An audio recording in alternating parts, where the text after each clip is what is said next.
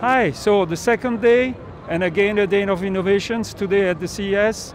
Today we have with the company Invoxia. They are presenting, they have an innovation award.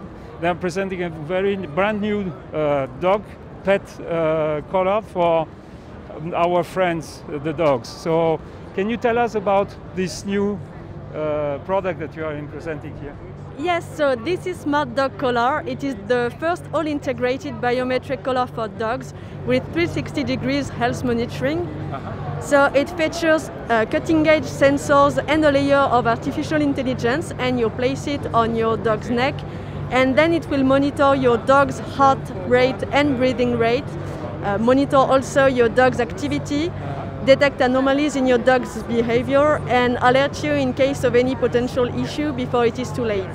Oh yes, okay, so it's monitoring the health of our dogs, our friends' dogs, and at the same time also tracking them if they go away?